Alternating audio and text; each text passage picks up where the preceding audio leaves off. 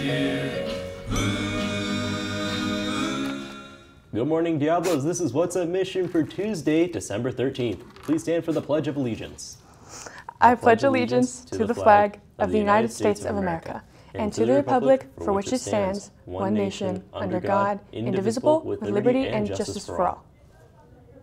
I know weather is a common topic, but it is just so cold out lately, and I don't know if I like it or not.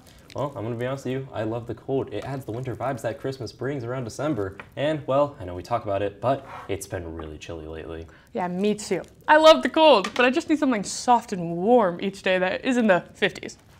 Well, I know you can get something like that. You can always go to the Diablo thrift store to get something soft and cozy, and as well, you can also go on today and Thursday if you want to check something out and pick some new pieces to help you stay warm in the weather. Donations will be much appreciated. Diablos, mark your calendars for the water polo alum- alu- alumni game on Friday the 23rd. The boys' alumni game is at 5 p.m. and the girls' alumni game follows shortly after at around 6 p.m. Come start your winter break off right by watching a fun competitive polo game.